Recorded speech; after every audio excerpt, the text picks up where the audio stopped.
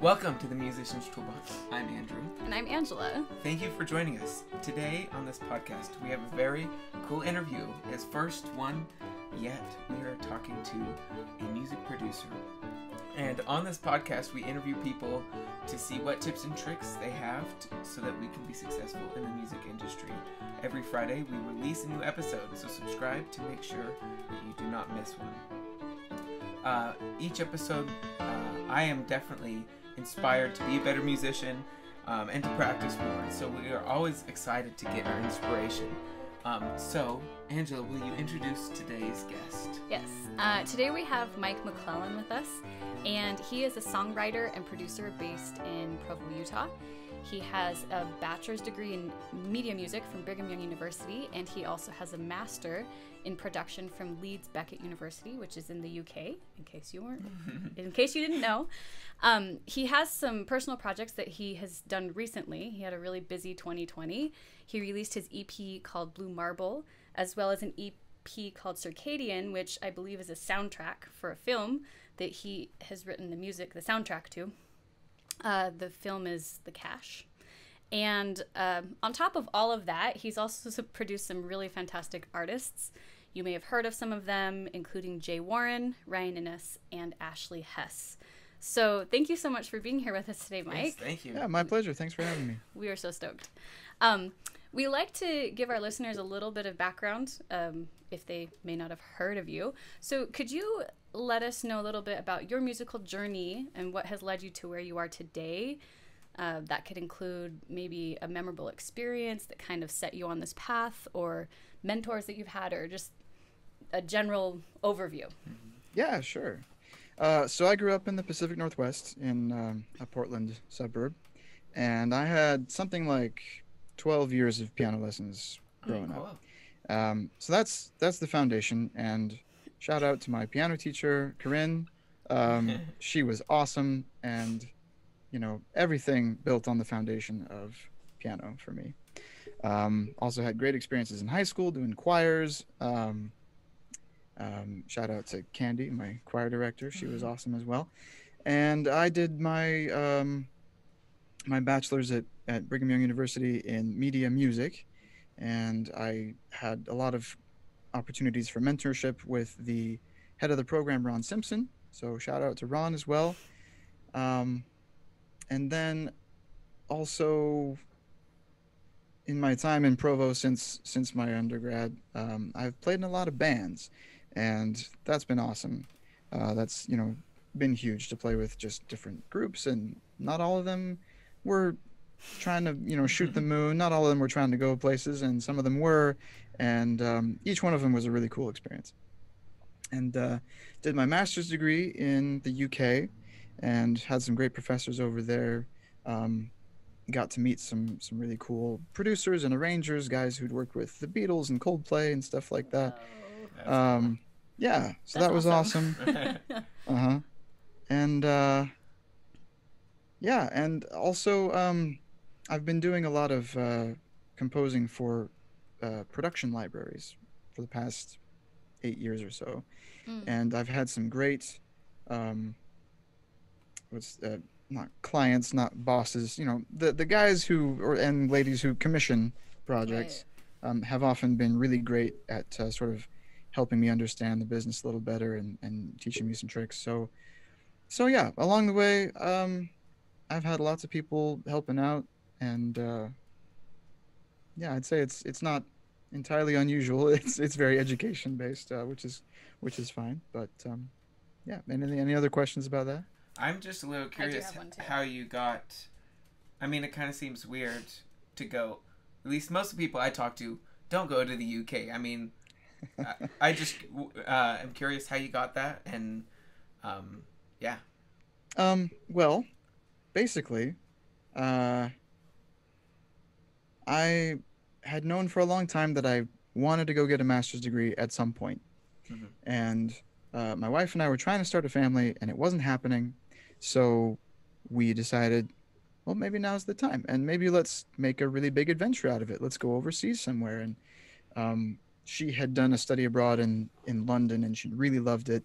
And I'd been a long time fan of British things like Who Harry is it? Potter. Sherlock. Doctor Who.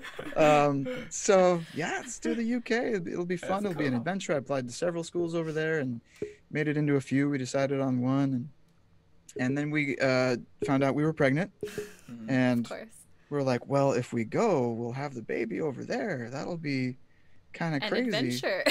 Yeah. So, so we did it anyway, and so um, the England experience was, you know, really a huge a huge deal in my life because it was kind of like starting over, you know, in a foreign Mhm. country where you don't know anybody, um, and then having you know a pregnant wife and then a newborn is crazy, and trying to do a master's degree at the same time while also trying to just live it up and travel as much as possible. yeah, that was that was the real deal, real, real adventure. um, but yeah, they, they have a lot of cool. Um, the school I went to had had great a great music program, um, great resources and great guest speakers. So yeah, it was huge. It was wonderful. when you went as a emphasis in production, did kind of your performing take the back seat for those two years, or did you still? Yeah, I didn't do any any performing Okay. in England. Um, I wondered if I would, and I did not. There you go. I'm a little curious how you, what made you choose to switch from piano to pr- music production? oh, um, I don't really consider it- piano. Well, yeah, but you started studying Right, right, right. piano, right? Okay. Yeah, I, I wouldn't say it's a switch. It was it was more of um, you know, piano is a good foundation for any Mhm. musical career. Yeah. Mhm. It translates well in helping learn other instruments. Um, it's a great, you know, as a performer, no matter what instrument you play, if you know piano, it's you know, it's a good leg up. Um, so everything that I've done is sort of built on that, and and yeah, my career has, you know, different um, hats that I put on. Sometimes I'm in producer mode, sometimes I'm in composer mode, sometimes I'm in songwriting mode or performer mode, but but they all kind of build on the foundation of knowing an instrument, knowing music theory. Um, Well, and you should know that Mike, when you were at BYU, you were in BYU ambassadors, right? Which is I yeah, I did the Young Ambassador band for one year. I was playing bass in the band, and we toured Scandinavia, and that was super fun. Yeah. You know, I don't know if I've had any experience quite like playing ABBA songs for Swedish people.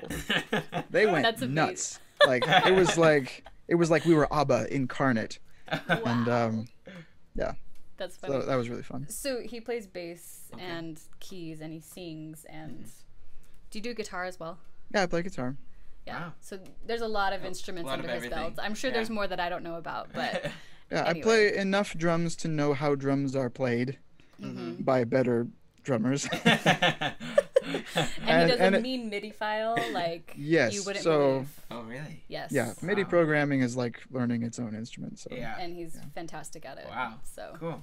so piano was like he literally the bass. That Yeah. was, Uh-huh. and I'm sure you're great at piano too. But yeah. I'm okay. um, I'm not. I'm not a virtuoso. Or, you That's know, what all the good people say. I'm okay. it, it does what it needs to for server purposes. So I actually have a, a follow up question because you talked about um, the libraries that you write for, and is it right to assume that Oh. that is in the sync world? Is that, or is it? Yes. So. Because Uh, lots of people haven't even heard of that. Yeah. So can Yeah. you explain to us what that so even to anybody who doesn't know what production sync refers to, um, sync is short for synchronization, and it's just the process of um, taking a piece of pre-existing music and dropping it into other media, visual media, um, but also you know, also like radio commercials and stuff like that. So. There's kind of two ways to do it. If you want music in your in your film or your commercial, you can have it composed for that purpose, or you can drop it in from a library. So you know, uh, stock photos would be a good um, analog to this, but there's yeah there's tons of production music libraries out there, and they have a, a wide range of quality and price. Um, but as a composer, it's a really good gig because um, yeah, when you when your stuff gets used and hopefully used a lot, it's a nice source of uh, passive income. And how did you get involved in it? Like, did someone tell you? Did someone hear something you wrote, or you just knew about it? Or Yeah, uh, my cousin Steve Newman and I were roommates in college, and we were very inspired by Jack Conte and Pomplamoose, and they would, you know, earlier days of YouTube. It was kind of a fresh thing to Mhm. film yourself playing different instruments and arranging a song and sort of watching that in real time. Um, so we did a few videos like that of songs we liked, covers and songs we Oh. wrote, and and um, a f- our mutual cousin shared one of those videos, and then a professional working in a music library uh, contacted us and said, "Hey, I saw this video. Obviously, you guys can do this thing that I need somebody to do. so, would you like to work on this project?" And that wow, was sort of the door in. cool. that's incredible.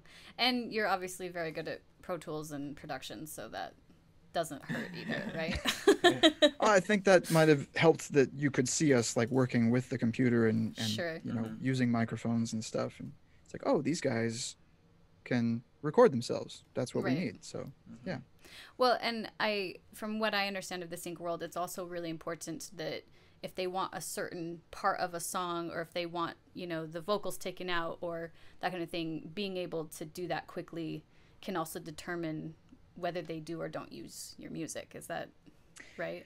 Um, yeah, a good a good library track, if it has vocals, should stand alone well without them, um, and should have moments of interest throughout, um, while also having uh, moments that can be looped sort of indefinitely. It's good to kind of think like, um, what would a video editor want to have at their disposable disposal in a piece of music, Mm. and then try to go from there and give them that. So, is most of your music for production or for these libraries, is it commissioned or is it do you write it and then just put it in there? Uh, a little of both. It's mostly commissioned, Okay. um, but there are libraries that will just take submissions. Um, that will, and you know, and there are libraries that if you're kind of on their team, they'll say, "Hey, we need something like this. Do you have anything like this?" So it's good to have a little library of your own stuff built up that you can pitch to things. Mm. Um, but a lot of my stuff is done on commission as well. And do you still write music with your? It was your cousin, you said, right? Well, my cousin Steve.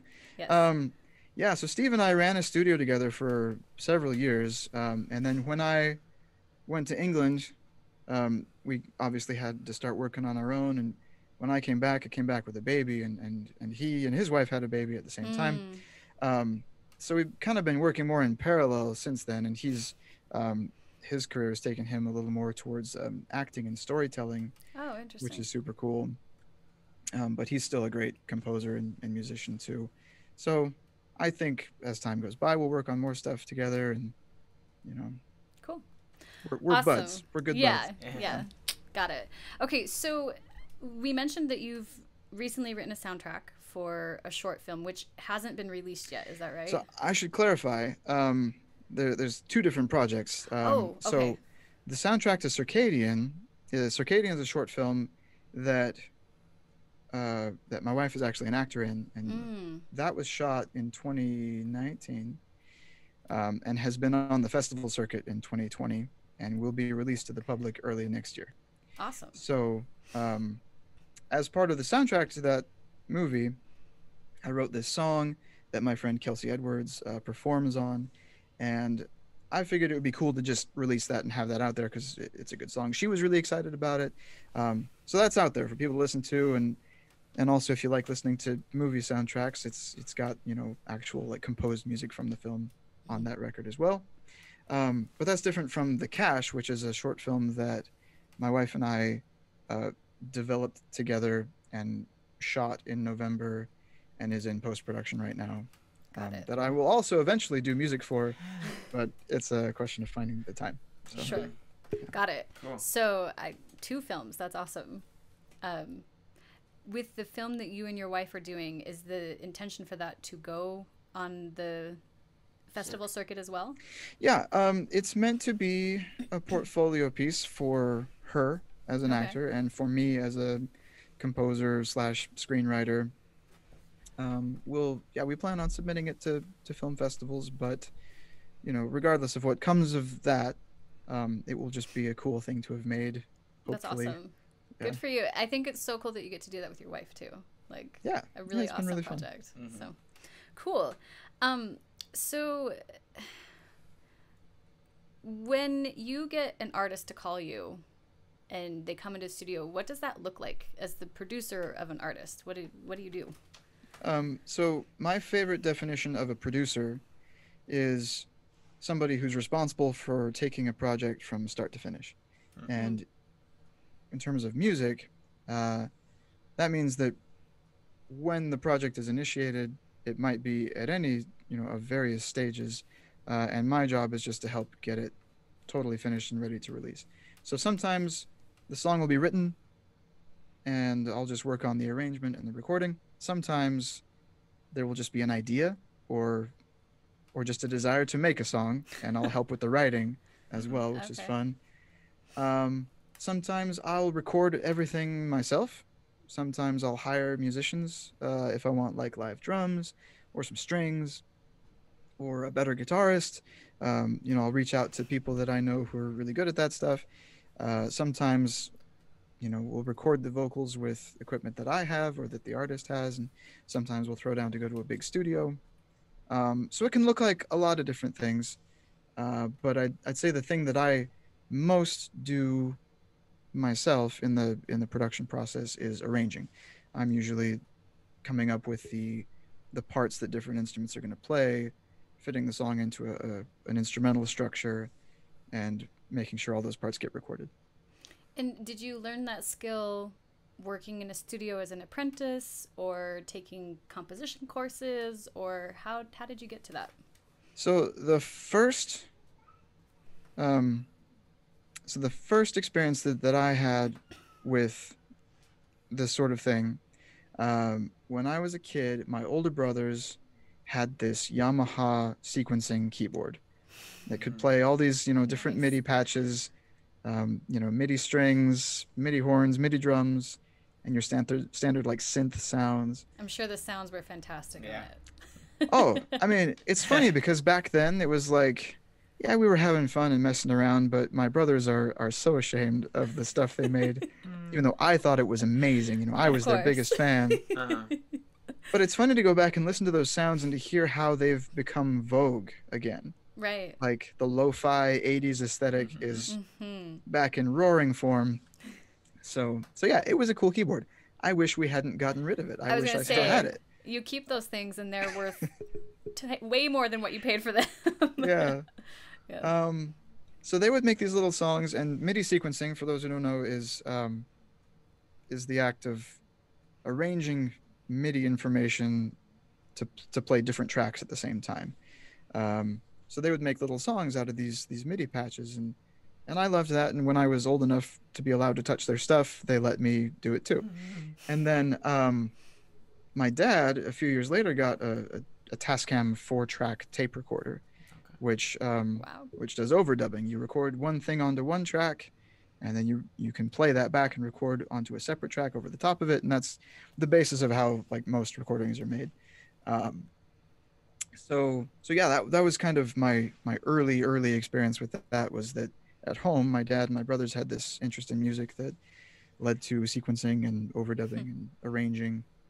So so yeah, so going to college and and studying it and then just you know doing it in a professional setting was just really trying to be better and better and better at that So for someone who's thinks they might want to do something like music production or I mean there's lots of different subcategories in the uh, music media field or whatever.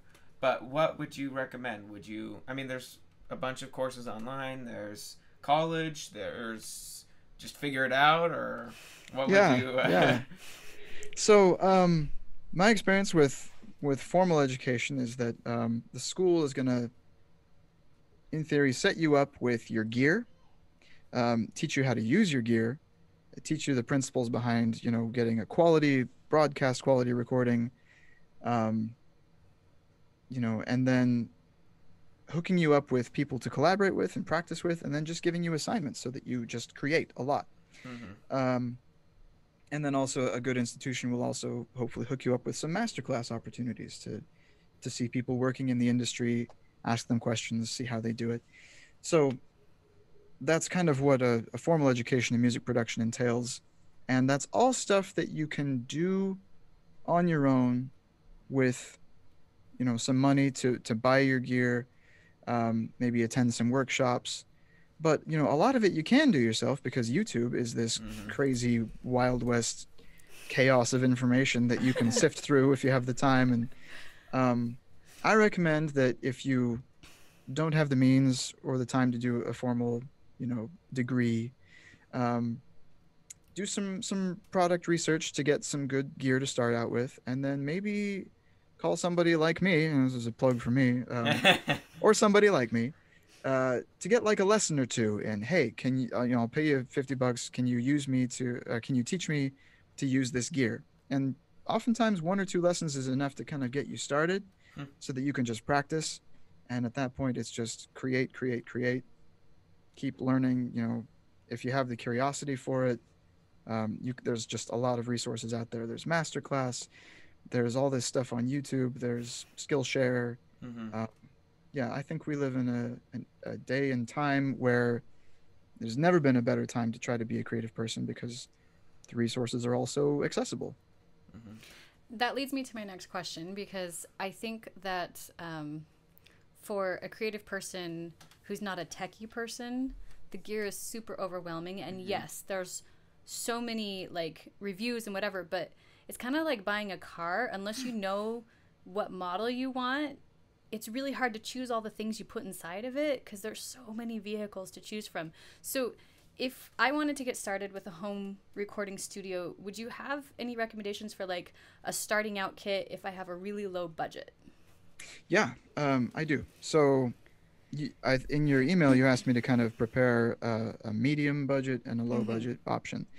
Um, so the first thing that I wouldn't skimp on is having a good computer. Mhm. Um, if you're an, a Mac person, having a really good iMac or a really good Mac Pro or a really good MacBook with processing power to handle audio, that's essential. Can't get around And that. how much processing power is essential? Because I am someone who bought a MacBook that was actually ta- like I, I talked to a salesperson and I was like, this is what I want to do on it. And they didn't give me enough memory on it. So, what Oh. would you, yeah, uh, literally, like I was. Oh. I had to wait years to buy another computer, and it wasn't what I needed. So, what Dude. would you say is a minimum of uh, RAM. RAM for something like this, and a minimum for? And I know you can always save on like a backup device, but just to have on your computer so it doesn't get overwhelmed because recording software takes up a lot of space. It absolutely does. So, um, I would have uh, bare minimum 16 gigs of RAM. Mhm.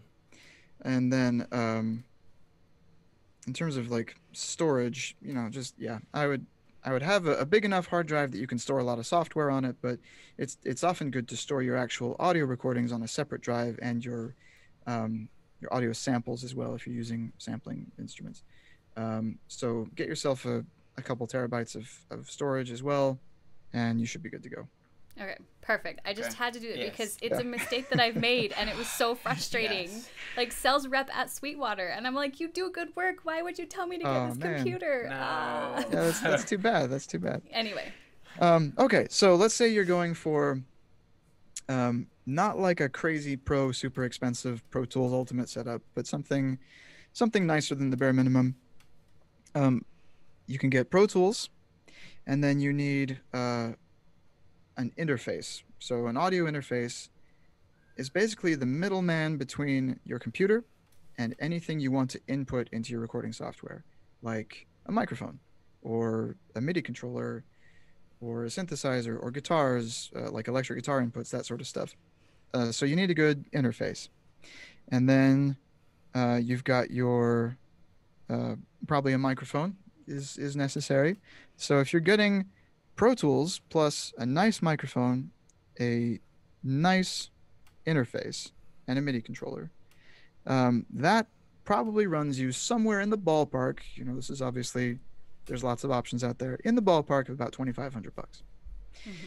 If you buy Apple Logic, which is much more uh, cost friendly Mhm. and um, a more uh, consumer level interface, consumer level microphone, and a MIDI controller, you can do that for about 700 bucks.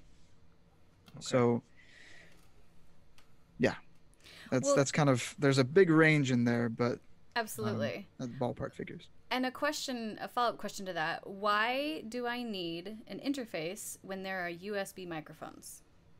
Uh, good question. If you have a USB microphone, you can plug it directly into your computer and record directly to your software. So you might not need an interface. Um, and if you have a MIDI controller that's USB, uh, you can play MIDI notes right into your Mhm. computer as well. So yes, there are situations where you might not need it. If you have any sort of situation where you want to record with multiple microphones at a time, um, or if you have a microphone that's a, a little nicer and doesn't just plug in via USB, you're going to need some sort of way to get your audio signal into your computer, and that's where the interface comes in. And is it right for me to say that USB microphones are not going to be as high of quality as one that you put through an interface? To be honest, I don't have a ton of experience with USB microphones. Um, I understand they're great for podcasting, um, but like I, I don't think I've seen them much in recording studios. Um, what I see a lot in recording studios are really nice condenser microphones and dynamic microphones and ribbon microphones that are plugged into a you know Yeah. an Which you won't find for a USB mic. So. No. Don't believe so. yeah. Okay. So I have a question about software because I think a lot of people don't know which one to choose. And then you said that Logic is more consumer friendly. But I also know that like Jacob Collier, who is a very successful musician, uses Logic. So can will you just kind of maybe lay out what what to look for that would be right for you for a Yeah. So, uh, so these these programs are called DAWs or DAWs, Digital Audio Workstation, and there's lots of them. There's Pro Tools, there's Logic, there's Ableton Live, there's uh, Reaper, and GarageBand and Cubase, um, Audacity? Audacity. Yeah, there's lots of them, and they all basically do the same thing, um, but they're all also slightly different. So, for a long time, Logic was known for having really great MIDI capability, being very user friendly with how you input MIDI, but not handling audio as well as Pro Tools. Pro Tools kind of had the corner in the market of being the good audio software, but not being as good in its MIDI capability. And then Ableton um, was originally made as a performance tool where you can play loops over each other and kind of uh, do loop sequencing. But as all these programs have been around for longer, the companies try to compete and um, increase functionality so that there's uh, so that they can be as good as their competitors at different things. So, you know, they're all good. you can do a lot with and they all all of do them the same thing. you know you can you can make an entire record with garageband and Mhm. garageband comes with a mac um, if i were starting over i'd be very tempted to start with logic because it is more cost friendly Mhm. and it is a great great piece of software and it comes with lots of good um, stock plugins uh, plugins being uh, pieces of software that you apply to different audio tracks to change you know add effects and things like that uh, logic has a really great library of stock plugins um, and also virtual instruments um, pro tools has its own stuff but yeah i think logic is really good bang for the buck ableton is also really great so My this this is my understanding because again I'm not great at this as you are, but Ableton is kind of something that users use more when they do not have a Mac. Is that right? Um, Like it's a more window or PC type I honestly don't know. I, I'm struggling to remember the last time I, I was in a studio that didn't have a Mac or worked with somebody that was working on a PC. Yeah. So this is what I've yeah, this is what I've found when I speak to people that are in production. If they if they don't have a Mac and they want like the industry standard, they usually go with Ableton Live. And then my understanding of Pro Tools is the reason that it is used so much is because it actually was the first DAW on the market before Logic, before Ableton. And so it kind of got its spot in the market before anyone else could. And then Logic and Ableton kind of answered Logic for Mac and Ableton for PC. I don't know if that's true, but that's kind of yeah, what it seems I, I'm like. I'm not an expert on the history of it, so that's that's really interesting. Um, what I what I do know is that when I started out, I started out on a PC with Pro Tools, and it worked fine. Right. Um, Yeah. and then I switched to Mac at some point. Well, and I think Pro Tools has always been compatible with both, and that's been Yeah. the hmm the benefit of it. And I also don't think that means that Logic doesn't work on a PC. It's just it was written by Mac people, so Yeah. yeah. Anyway, Before we move on, there's Yeah. one thing I want to step back. And you said that talking about education and how to get um, started in music production. Um, I know for traditional musicians, uh, a good way to know what you said is a good institution um, is a lot of like pianist people that are studying instruments. They go and have lessons with the people at the colleges. But if someone wants to go to a good institution for music production, do you just like email the teacher and say, "Hey, can I have a lesson?" or is that different? How how does that look like? Um. Yeah, I mean, it's possible I'm not the best person to ask about that, uh, Uh-huh. because the last institution I went to was overseas, and I never set foot there Yeah. before I enrolled. Yeah. Um, so that was a little, you know, a little, probably a little more flying blind than you want to do. yeah. Um, but I recommend getting in touch with the, the professors there and and doing a, a campus visit and, and seeing if they're, you know, if you like the the vibe, if you are impressed by their their resources and their Okay. studios and all that. Mhm. it sounds like it's not as big of a deal Uh-huh. for production. Yeah. because I mean I could be wrong, but like you know with violin it's like oh here's the most famous violinist or they have the best studio. All their students are getting the jobs right now. Whereas production there's such a big need for it that you have programs. But it looks There- like you're thinking about it now, so you could you could correct I me mean, if, if I'm I if I had my druthers, right, I would um I would sign up for a a class with uh, Jason Evigan or um, you know Ryan Tedder, these these big producers who are doing it. You know Finneas, you know I don't I don't know of them. You know having a lot of um, doing a lot of masterclass type stuff, except for Right. Ryan Tedder right now has um, a workshop going through monthly that you Okay. could check out. Um, so that's pretty cool. Mhm. But yeah, the, uh, the They're not Again, I- necessarily things that are offered through university, Yeah. right? You have to yeah, I mean, hopefully, person. I mean, if you go to like to UCLA or something or USC, um, Berklee maybe. You're gonna see some really big names coming through and and giving some master classes. So Okay. Okay. Get to that's know. yeah, so th- there is some some research to do there. Um, Mhm. You know, where I went to to do my master's program, we had guest speakers like Ken Scott, who was a Beatles producer and worked with Mhm. David Bowie. Um, whereas if you go to someplace in LA, you're gonna be rubbing shoulders with people who are working with, uh, you know, more current pop stars probably. So Okay. The LA Yeah. film industry. Yeah, possibly. Yeah. Okay. Um, so because you're a producer, you would I feel like you have a better understanding of this because you hire musicians on occasion. Um, what is your take on online recording and being able to have? Is there a marketplace for that? Um, is there a need for it, or is it more often it needs to be in person? So, so this year, uh, since the pandemic started, I've done all of my work entirely remotely, Mhm. and what that's looked like for me is a lot of um, working with, uh, you know, musicians who are set up at their home to record themselves. So I've got a, you know, a couple of drummers that I, you know, like to work with, a couple of string players, and um, and backup singers. So, so I've you know contacted them and say hey here's the here's the session or here's an audio track to work with can you record this on top of it send me a few takes that sort of thing and that's been that's been really helpful so i don't know if that's exactly what you're, talking about when you talk about online recording but um, but that's my experience with it. Did you find all of these people because you'd worked with them before, or did you go to a platform?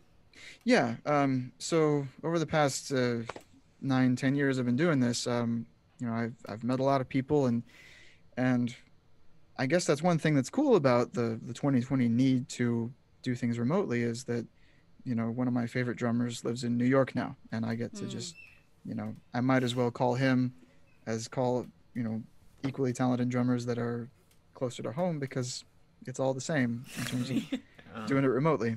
Sure. With the pandemic, have you had a lag in your work, or has it continued to be the same, or have you had more? Um, it's a good question. I uh, it's hard to say because being self-employed, there's such a big fluctuation normally anyway. So it's hard to say, you know, what this year would have been like without the pandemic. Um, but one thing that has been more frequent this year is that I will, I'll be waiting on somebody to record something, and then they get sick. mhm. they get they test positive for COVID, and we No have to wait um, for them to get better, or or you know, in a in a couple situations, somebody has has set up a studio where they want to go in and book time, but then the studio closes because somebody tests positive Mm. for COVID. So Yeah. so there's been a lag there, That's crazy. which is no bueno. No. no. Come on, Definitely vaccines. yeah. I know, right? It's gonna be a couple more months still, but Mhm. um, so we're kind of going to pivot a little bit away from the production, and this is kind of a little bit more of a personal question. But have you ever start, struggled with? These are things that I feel like a lot of musicians struggle with: doubt, depression, anxiety, um, comparing yourself to others. And if you have, could you speak to how you've dealt with that and um, how you've been able to overcome that? Absolutely. Uh, yes.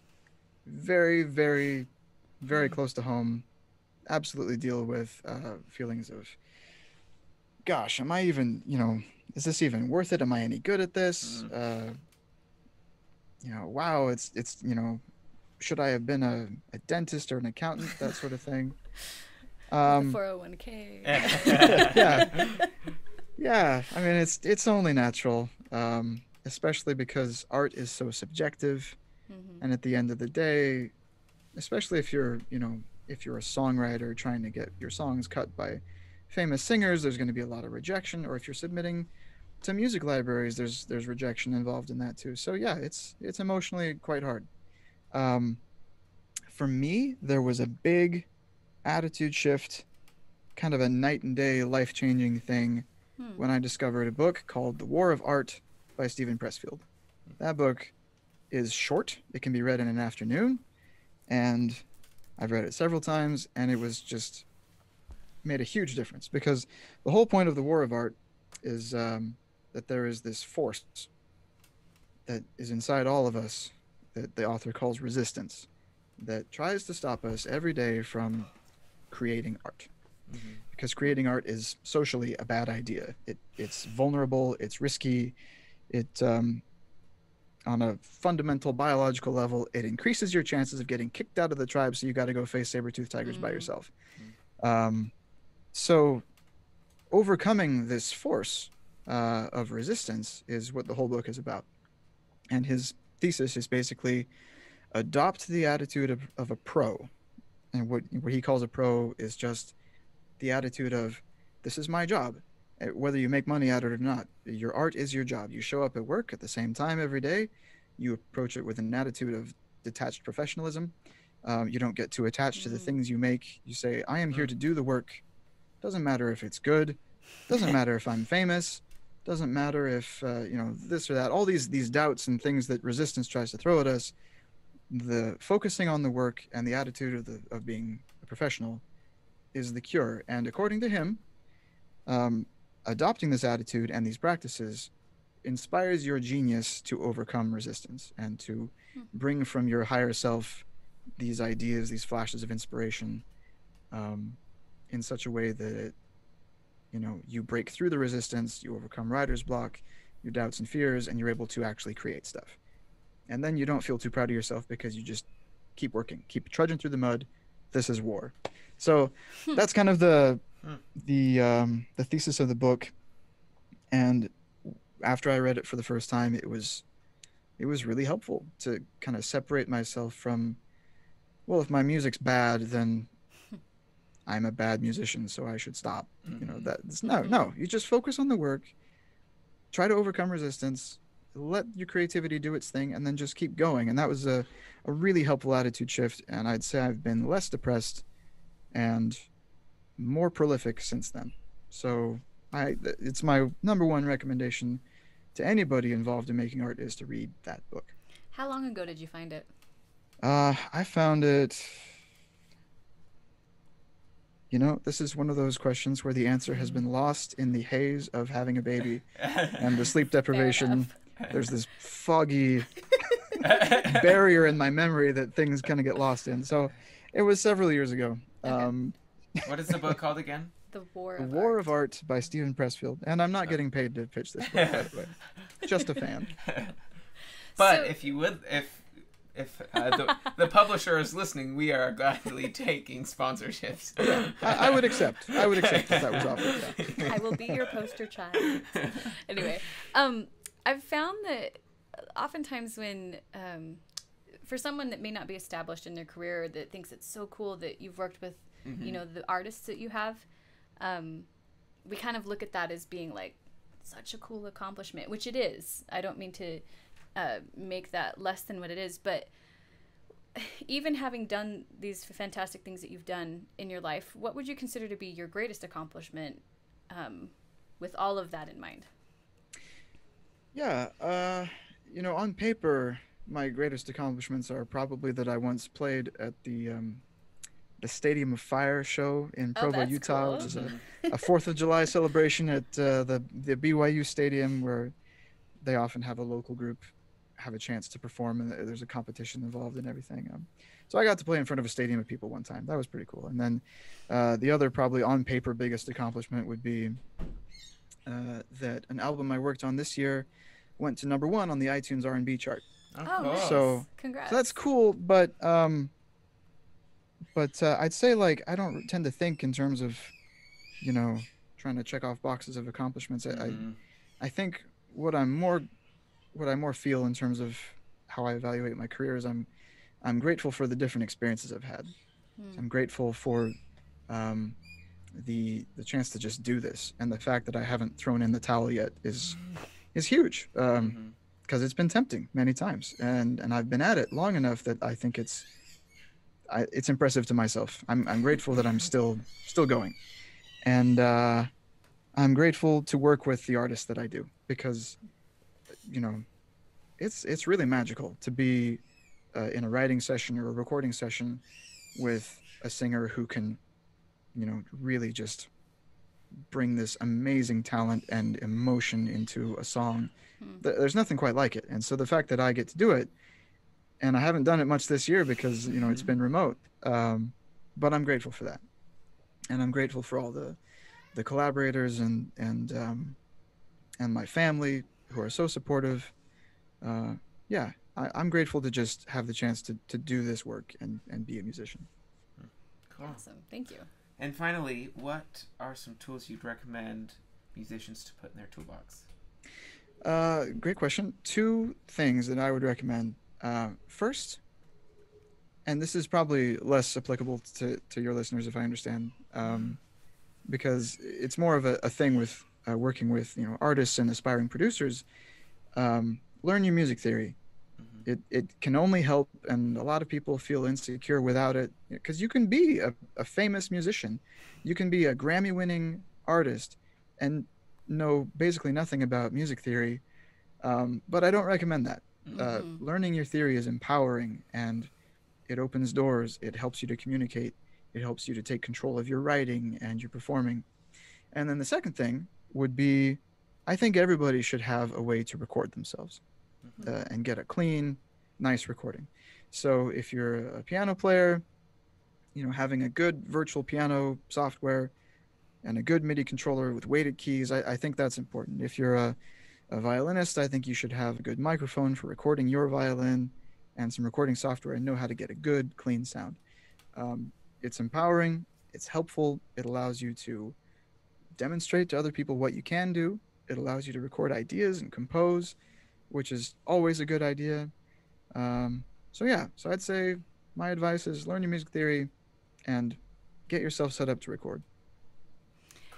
Thank you so much. If people want to be able to find you, what are what are your uh, like? How can we find your website or Instagram or?